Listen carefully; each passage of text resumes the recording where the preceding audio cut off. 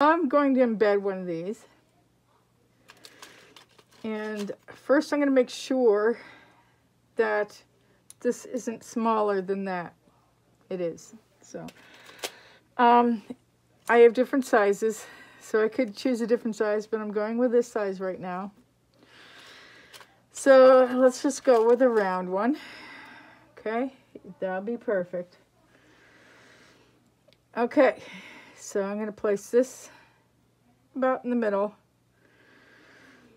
And then I'm going to put this over. And now I'm going to press down, try to get it even.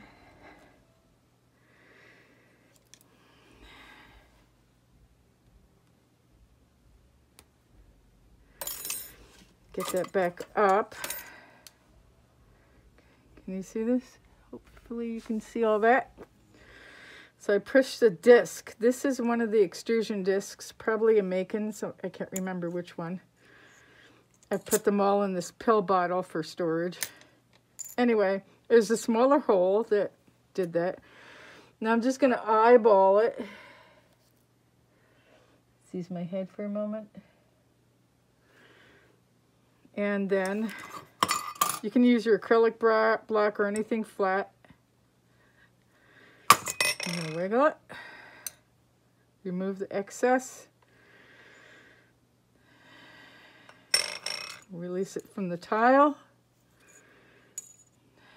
And there you go. I have